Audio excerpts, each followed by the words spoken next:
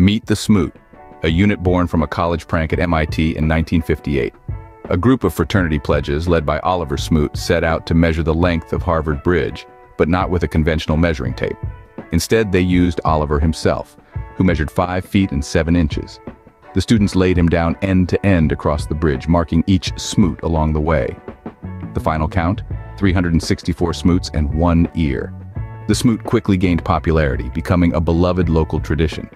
Today it's even recognized by Google Earth and is repainted on the bridge every year by MIT students. It's a testament to the playful spirit of innovation and a reminder that measurement isn't always about precision. Sometimes it's about the story behind the numbers. So, next time you cross a bridge, think of the smoot. Dive into history with the dram, an ancient unit of mass used by apothecaries.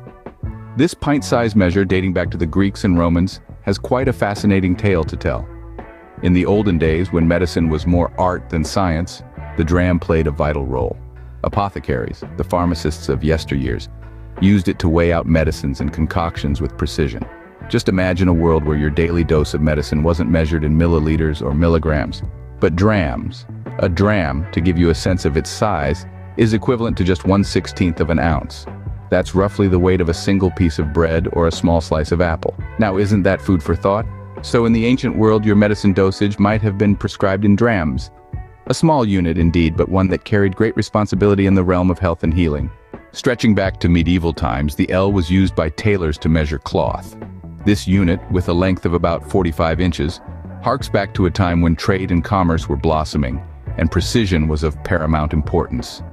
Tailors and cloth merchants across Europe would use the ell, a measure that varied slightly from region to region, but always with the aim of ensuring fairness and uniformity. It was a time when the length of your arm, or the ell, could decide the elegance of your attire. This unit, although largely forgotten today, played a crucial role in the evolution of trade and fashion. It was the backbone of the textile industry, ensuring that a yard of silk in London was the same as a yard of silk in Paris. So next time you're out shopping for fabric, why not ask for an ell? Printers and typographers will know the pica, a tiny yet mighty unit that rules the world of printing. This unassuming unit plays a colossal role in the creation of the printed word. Here's the scoop. A pica is approximately one-sixth of an inch, or to be precise, 0.16667 inches. It's used to measure everything from font sizes to column widths, margins, and gutters.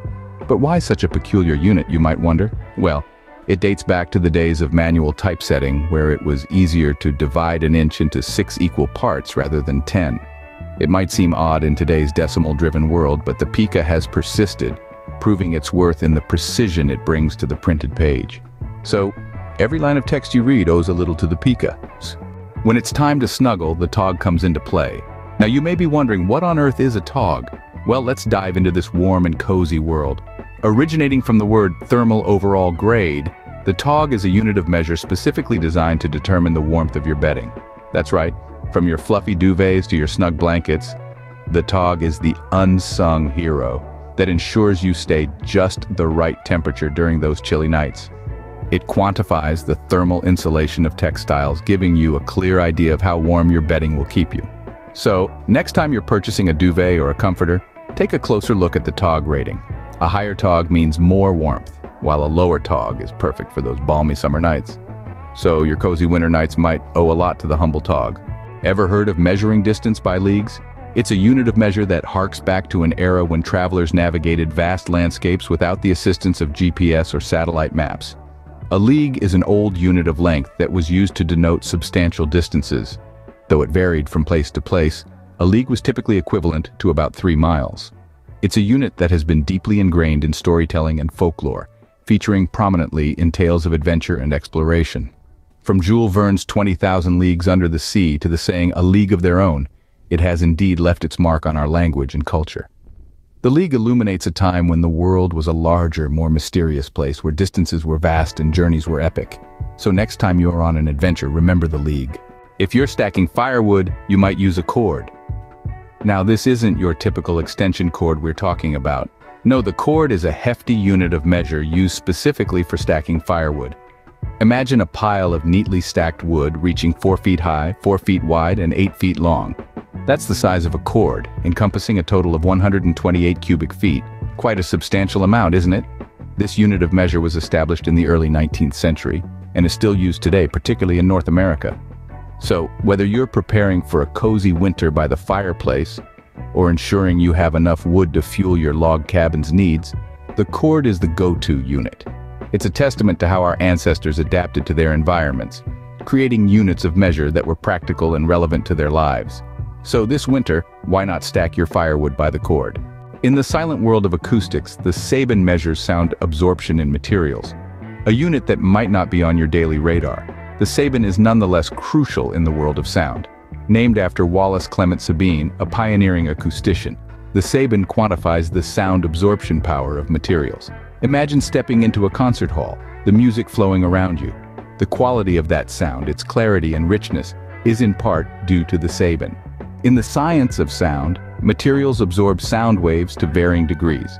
This is measured in sabins. This unit helps architects and sound engineers design spaces that sound as good as they look.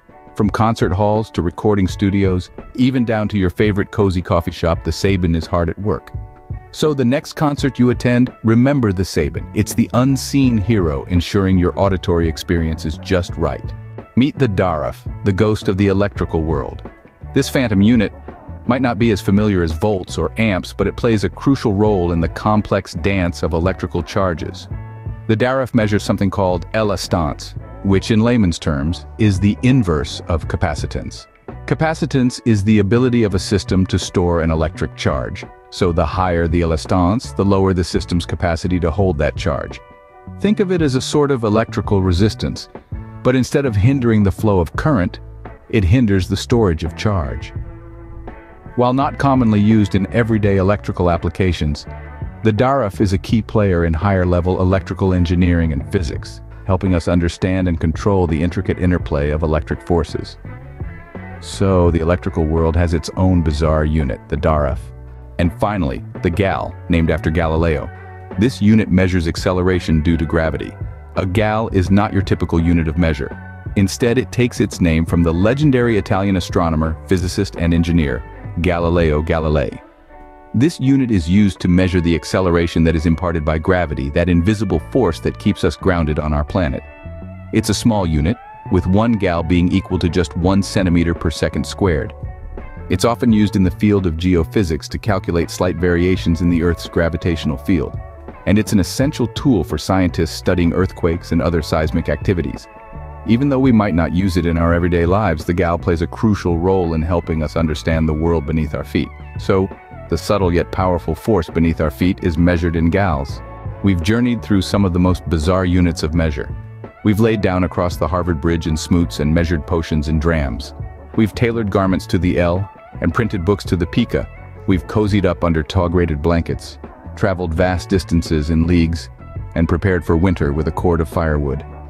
We've designed soundproof rooms with sabins, danced with electric charges in Darafs, and felt the subtle pull of gravity in gals.